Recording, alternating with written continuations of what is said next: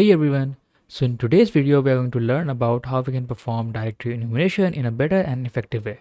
Before going to this video, if you haven't checked out my previous video in which I have shown you that how we can automate the process of subdomain enumeration by writing our own custom bash script, then go ahead and check it out. The link will be given in the description as well as you can see it on the right side of the screen. Also for those who are new to our channel and if you haven't checked out our website which is bepractical.tech then you are missing a lot. So just go and type bepractical.tech in your browser and you will be redirected to our awesome website over here. As you can see we have a lot of contents related to cybersecurity and web development. Let, let me just refresh it real quick and as you can see we have a lot of contents over here related to web development and cybersecurity like what is content discovery no rate limit on forgot password pages and so on right? And if you go to the lab section in the cybersecurity you will see that we have account takeover labs and all of these labs are based on real world scenarios. So in these labs you will learn that how hackers actually hack into someone's account because of the website's misconfiguration. It may be a logic bug or it may be a severe vulnerability in the server itself right? So all of these labs are based on real world scenarios. So just go ahead and play with it and learn learn and increase your cybersecurity skills.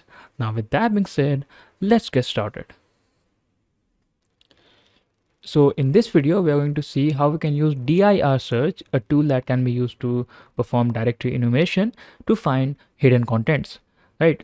So uh, first of all, let us try to install dir search on our machine. So we just need to type, go to your Kali Linux machine and type sudo apt install dir search and minus y. So it will install dir search for you but in my case it is already installed. In your case it is going to take some time and depending on your internet connection right? So once you have dir search installed what we need to do? We need to type dir search minus h. And as you can see over here we have a lot of functionalities over here. Now I've seen that a lot of people will simply just fire dir search like this. So they'll just do dir search and let me just get rid of this. Dir search. Minus u and the url right so let me show you. For example i'm going to use this particular lab that i have created to find hidden endpoints. So i'm just going to copy this link and we need to pass it over here like this. Right and hit enter once we, we have done that as you can see it will start uh, brute forcing the directory for us right so if it got any directories with uh, 200 or maybe another 300 400 status code then it is going to uh, show the output back to us let us wait and see how many directories we may able to find using this particular technique. Now, a lot of people will do the same thing that which I have did, like they'll simply just use dir search minus u and just going to paste the link and hit enter.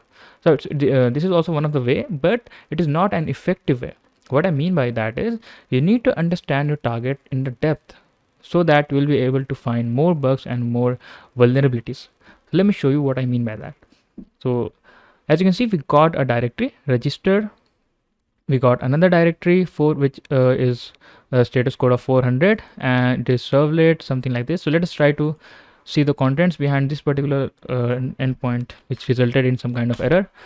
And we got a URI error so it may be uh, some kind of vulnerability.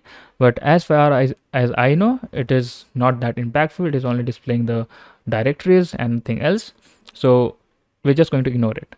The second one is the register the register endpoint, right? So just going to copy and paste this. Let's paste it. And as you can see, it is showing registered and nothing else.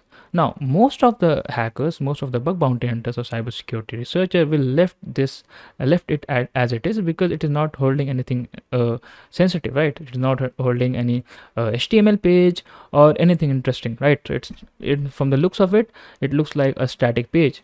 But as I've told you before, you need to analyze your target very carefully. So let us try to intercept this in our burp suite and let's see what happens. I'm just going to intercept it and let us try to intercept the response. And over here, as you can see, we got nothing, but still there is one thing that we got a token header, right? We got a token header in the response so it may hold some kind of uh, sensitive functionality right? So in normal cases where you see we have a sign up and login functionality. So once you sign up to uh, to the application your data will get stored in the database right? Now once you will log in you will get some kind of token from the server right? It can be a jwt token or it can be some uh, token or uh, something which is stored in the cookies right? Now you need to use those particular cookies or the tokens that you have got by uh, generating the session or by generating by authenticating authenticating yourself so that you may be able to find more and more contents on the particular server. So let me show you what i mean by that. For example we have found that okay we have a token parameter which is uh, getting back by the server. So just copy this and let's paste it in notepad for now and let's pass this again, we got nothing interesting, but in the header, we got token be practical underscore tech, right? Now we are going to use this particular token since we know that this token has been passed in the header. We are going to use this token as a header in directory search and let's see whether we'll be able to find any more uh, hidden endpoints or not. So let me just show you. So earlier we have uh, able to find only two directories. So let me try to use the this particular header and let us try to see what we'll find. So i'm going to type dir search and again minus h because we want to know that how we can pass header in this particular tool. So over here as you can see we can specify minus h and we can just uh, pass the header like this right? We can also pass cookies like minus minus cookie equals to the cookie right? So now let us try to use this particular information to pass the uh, header. Just copy this paste it which was minus h and we got in the header what we have got? We got this right? Token be practical underscore tech. Just copy it and let's paste it inside this single quotes. Let's hit enter and let's see let's see what happens after that.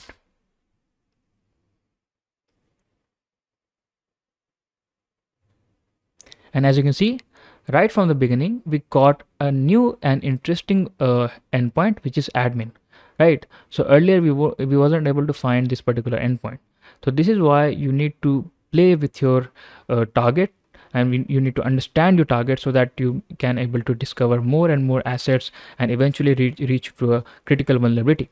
Right? So as you can see right now we got this particular endpoint admin. Let's try to see the admin endpoint and what are the content behind it. Let's hit enter. Okay so it has been intercepted by Burp Suite let me just close it. And as you can see it is showing that not found on the server. Why it is showing like this? Because we need to pass the header right? Just pass the header again.